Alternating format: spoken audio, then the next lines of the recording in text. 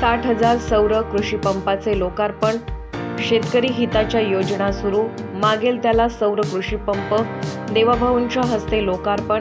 कृषी पंपाच्या दुरुस्तीसाठी विमा. शेतकऱ्यांना सौर ऊर्जेची वीज.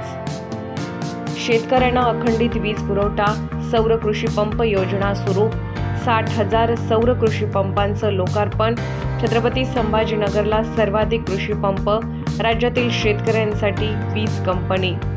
शेतकऱ्यांना अखंडित वीज पुरवठा म्हणून सौर कृषी पंप आणि बळीराजा मोफत वीज योजना अशा दोन योजनांचा मुहूर्त संभाजीनगरच्या लाडक्या बहिणींच्या मेळाव्यात देवाभाऊंच्या हस्ते करण्यात आला. यावेळी मागेल त्याला सौर कृषी पंप योजनेअंतर्गत शेतकऱ्यांना साठ हजार पंप दिलेत. त्या पंपांच्या विमा उतरवलेला आहे. पुढील पाच वर्षात पंपाच्या दुरुस्तीची जबाबदारी सरकारनं उचलली आहे. सर्वाधिक कृषी पंपांचा संभाजीनगर राज्यातील पहिला जिल्हा असेल.